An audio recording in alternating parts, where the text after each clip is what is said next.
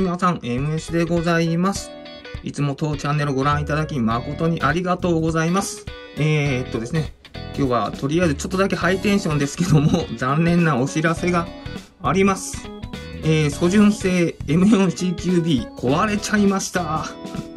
こちらですね、あの、いろいろね、動画のネタを用意しようと思ってたわけなんですよ。もうちょっとね、あの、トップの M4 との比較とかそういうのですね、とかいろいろですね、ちょっとだけ突っ込んでですね、やってみようかなと思ってたわけなんですよ。まああれからですね、あの、6mmPB 弾化して調整してどうなったかとか、ショート動画で上げた金属カートの使用感とか、そして別売で売っているね、この BB ローダーの使用感とか、そして、えー、っとね、こちら、もう、ボイスキーさんから発売されているサイレーサー型のレーザーユニットですね。この、ちゃんとついて作動するのかとか。で、まあね、メインどころは、やっぱりあの、ね、サイクルがちょっとね、発射サイクル遅かったんで、でまあ、トップさんのは1.1ボルトで動いてたんで、まあ、僕ね、あの7.2ボルトのリポしか持ってなかったんで、まあ、11.1ボルトのやつを使ってどれぐらいね、トップさんのと差があるかとか、同じバッテリー使ってトップさんとどれぐらいのね、性能差があるのかとかね、まあ、あとね、トップのこのカートをちょっと先端削ってですね、ちゃんと使えるようにして、まあその使用具合とか初速の変化とかっていうのもね、いろいろ見てみたかったんですけども、えー、その前にこいつが行ってしまいました。五輪中です。もうね、あの、電動でね、完全に動かなくなりましたね。もうね今、あの、手動コッキング、手動コッキングができるんですよ。ちゃんとエアーも打てて発射できるんですけども、まあ、実際にですね、バッテリーをつないでですね、ね接続するんですけども、まあ、もちろんこの時点では、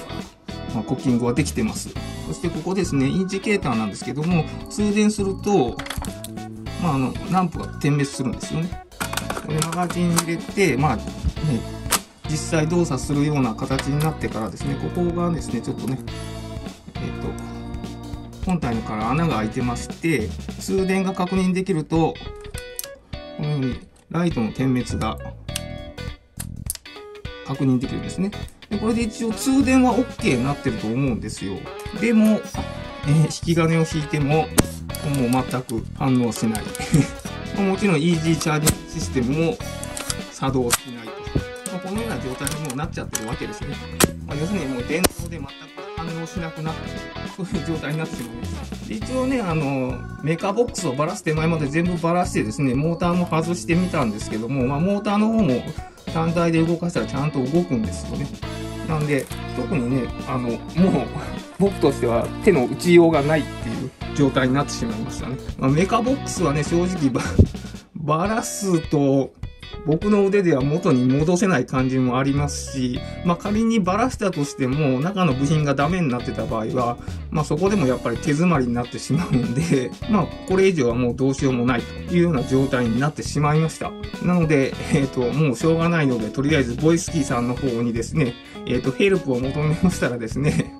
まあ回答いただきましてですね、なんとですね、あの、黒猫 YZ さんの方にですね、送ってくださいと。それすればですね、ちょっとね、対応してもらえますよっていうふうにね、ご連絡をいただいたんでね、えっ、と、そちらの方にですね、ちょっとね、ま、黒猫 YZ さんにはね、かなりご迷惑をおかけしますけどもですね、まあ、ぜひよろしくお願いしたいと思います。まあね、忙しいさなか、あのね、こういう対応という形になると思うのでね、まあ、いつ帰ってくるかまあわからないんですけども、まあね、あの、僕の単純なミスでね、ちょっとしたことで動かないっていうんであれば、まあそれはそれでいいことなんですけど、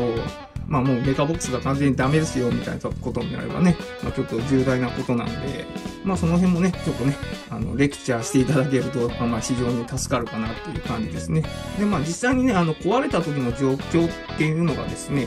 まあそれが原因かどうかはわかんないんですけど、まあ一応僕はあの、ずっと使用してるのがこの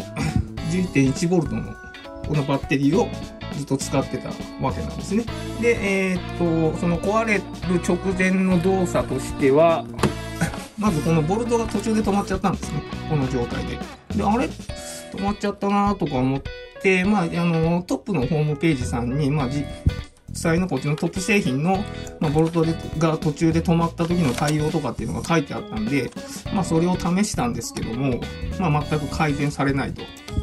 で、どうしたもんかなとか思ってたらですね、ここのですね、気がついたらここの調整ネジがね、ポロッと落ちてたんですよ。で、あれとか思って、このネジなんだろうなとか思ったらですね、ここの調整ネジだったわけなんですけども、で、もっぺんはめ込んで、モーターが外れてたのかなとか思ってたんですけども、端子とかも見たんですけど、まあ、特に問題なくて、まあ元に戻したんですけど、まあ、やっぱりこのように動かないという感じですね。で、まあ、あの、一応、えー、っと、僕大体毎日300発ずつぐらい撃ってたんで、まあ、トータル30日ぐらい使って、まあ、大体9000発ぐらいは撃ちましたね。まあ、10本体コストあたり大体5万8000円で9000円で割ると、まあ、一発あたり大体7円ぐらい。コストパフォーマンスで、えっ、と、とりあえず僕のは動かなくなってしまいました。まあね、あの、使い方もね、結構荒いんで、一番懸念してた、その、耐久性っていうんですかね。まあその辺がどうなるかはちょっとね、あの、購入時は心配だったんですけども、まあ僕の場合はこうなってしまったという感じですね。まあ実際ね、トップさんのもね、僕はそんなにね、あの、打ったわけじゃないんで、同じような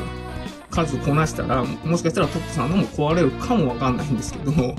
まあそれこそね、このトップさんのやつはね、数えるほどしか打ったことがないんで、まあ、総じて、あれですかね、ここ3年で3000発ぐらい撃ったかっていうぐらいのレベルの仕様なんで、まあ、ここまで毎日過酷に使ったことはないんで、で、もちろんまあ、束は飛ばすことがないんで、もうほとんど排気をメインで動作させていたっていう感じの状態になりますね。まあね、個体の当たり外れっていうのもあるんですけどね、使ってればね、いずれ壊れますし、まあ、調整とかね、まあ、僕もあんまり一切しないんで、本当はね、メンテとかきちっとすればですね、ちゃんと長く使えるもんだとは思うんですけども、まあ、今回はですね、こういう風な事態になってしまいましたんで、えっ、ー、と、本当に誠に申し訳ないんですけども、えっ、ー、と、黒猫 YZ さん、対応の方よろしくお願いいたします。で、またですね、帰ってきましたらですね、あの、先ほど言った、このいろいろもろもろの、実験動画とか、そういう使用感の動画を上げたいと思いますんで、まあ、とりあえず、あの、キューバの動画ではありますが、よろしくお願いいたしますと。まあ、今回はですね、こういう風に壊れちゃいましたよっていうですね、